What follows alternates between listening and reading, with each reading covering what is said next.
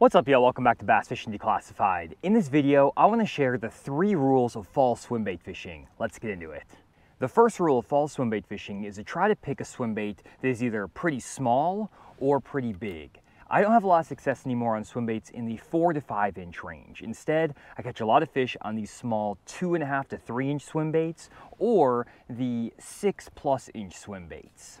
I find that a lot of these fish are getting pretty conditioned to swim baits in general and they'll follow the bait a lot and not commit if the bait is again in that middle ground size. And a couple of baits I've been throwing a lot this past couple of years is both the smaller swim baits like this Megabass Spark Shad and then these bigger glide baits. For that Megabass Spark Shad, I'm throwing the three inch size and I'll pull it out of the package here.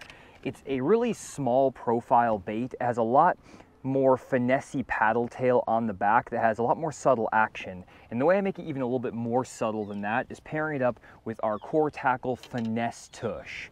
The finesse tush has a 2-aught hook, has an eighth ounce of lead there, and you can also use the 3 16 ounce size. And what I'm doing is basically inserting that finesse tush into that 3 inch spark shad.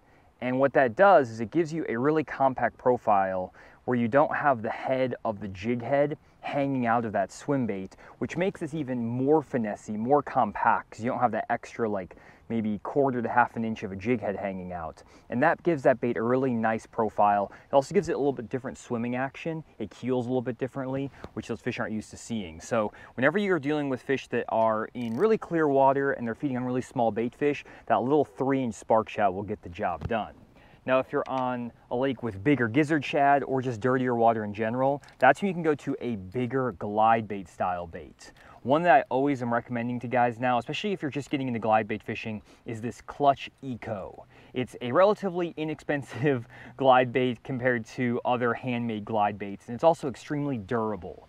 The one thing about this bait is you can throw it up against the rocks and bang it against bluff walls and stuff like that, and you're not going to break it. Other glide baits you're going to get on the market, especially if they're made of plastic, they're going to break and you are going to struggle, especially if you're not the best at casting these bigger baits. Another thing I like about this Clutch Eco is it's very user-friendly to fish. I can basically just throw that thing out there and just give it a few twitches with the rod tip and that bait's going to dart side to side and have a really nice chopping motion, which these fish really like. You can work it right up against a bluff wall or against shallow cover and basically set it right in place and get those fish to react. You can also weight it down like I do a lot of times on forward-facing sonar with a little piece of lead wire on that front hook hanger and upgrade the stock hooks just a little bit to cause that bait to sink and you can sink it down in timber and trees and brush piles and stuff like that.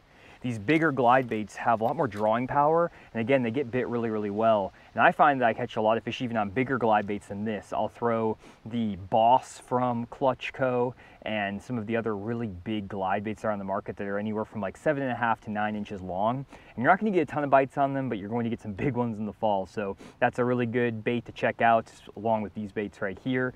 And again, if you're gonna be picking up swim baits in the fall, either go really small or pretty big. The second rule to fall swim bait fishing is that you want to work your bait slowly above the level of the fish.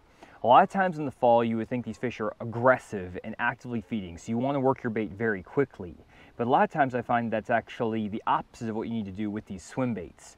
In general, I find I have my most success with swim baits in the fall when I try to work them about 10 feet above the level where I see the fish, whether I am fishing an offshore rock pile that I've scanned with side scan or down scan, and let's say the rock pile is in 20 feet of water and the fish are sitting on the rock pile, in that case I want to work my bait in 10 feet of water so that it's 10 feet above the level of those fish.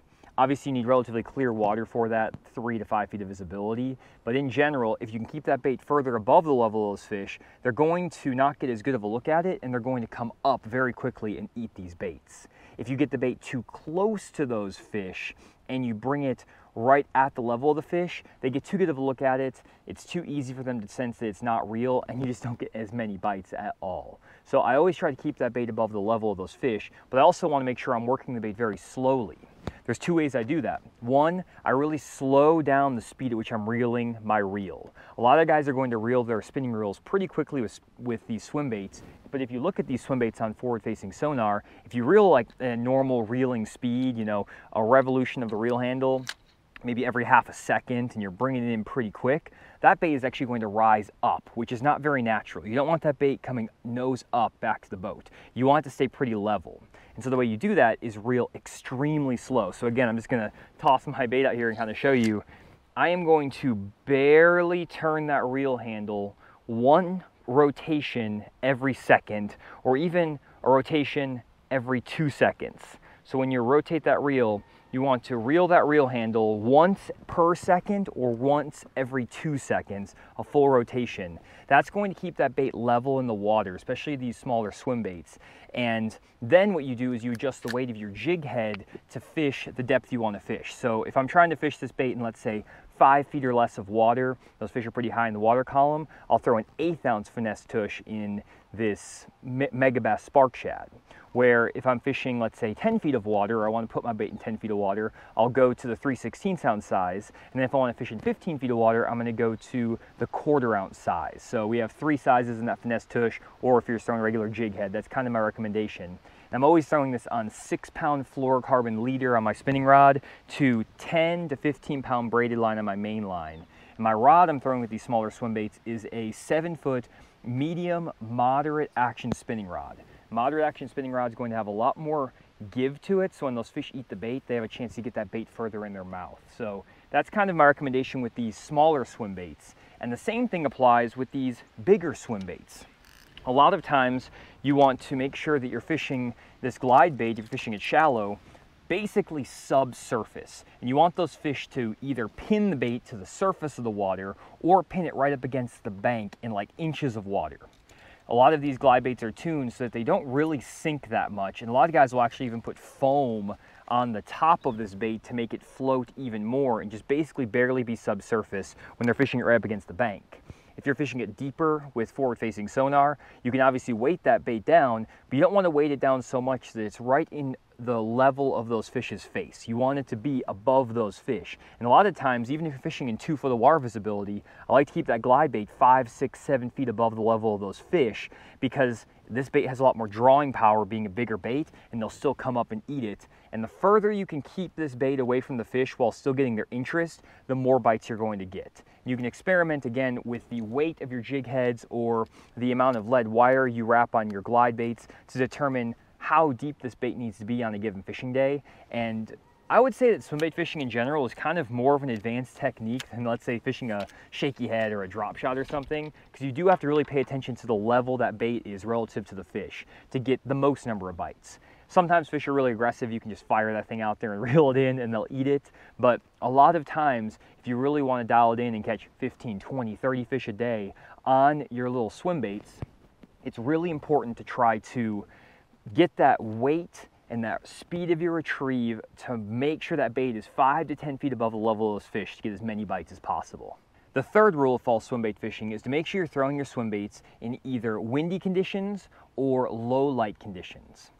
These windy and low light conditions are going to make it harder for these bass to actually see these little swim baits and it's going to make them a lot more aggressive, especially when you're feeding when they're feeding in open water, basically you're throwing it out in the middle of the lake, maybe over the top of a brush pile, rock piles, or just down a random bank.